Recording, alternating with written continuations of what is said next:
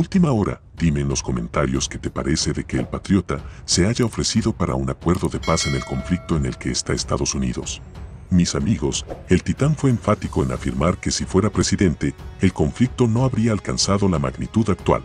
Si miramos ya van más de siete meses de haber escalado las tensiones en el este europeo, las alarmas continúan encendidas por las acciones que cualquiera de las partes en conflicto tome y la posterior respuesta de Occidente.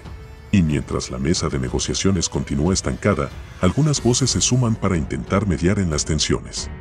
Los estadounidenses ven como acertado el pronunciamiento que hizo al presunto sabotaje al que habrían sido expuestos los gasoductos de Nord Stream. A través de su red social, True Social, pidió que se establezca una mesa de diálogo que ponga fin a las hostilidades. Mis amigos, aquí vemos al titán, demostrando el liderazgo diciendo que hay que tener el deber de mantenerse atento y tranquilo frente al sabotaje en los gasoductos de Nord Stream. Los gasoductos, que han sido saboteados, podrían provocar una gran escalada entre Estados Unidos, Rusia y Europa.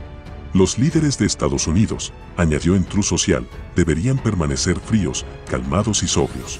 El expresidente El Patriota se ofreció a intervenir para negociar un acuerdo de paz entre Rusia y Ucrania, citando los daños recientes que, según reportajes, se produjeron en los gasoductos Nord Stream 1 y 2. Este es un gran acontecimiento que no debería implicar una gran solución, al menos no todavía, escribió. La catástrofe de Rusia-Ucrania no debería haber ocurrido nunca y definitivamente no habría ocurrido si yo fuera presidente, sea estratégico, sea inteligente, brillante, consiga un acuerdo negociado ahora ya que ambas partes lo necesitan y lo quieren, tenga en cuenta que el mundo entero está en juego.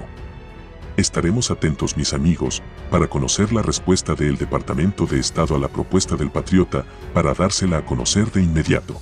Por otro lado les contamos amigos, que el Titán será el keynote speaker de la conferencia de liderazgo hispano que se llevará a cabo en Miami organizada por el America First Policy Institute los días 4 y 5 de octubre.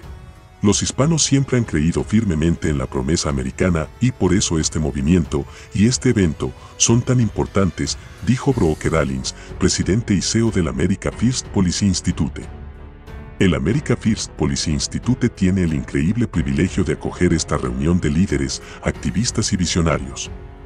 Todos ellos ejemplifican el espíritu americano y por eso están sentando las bases del mañana americano.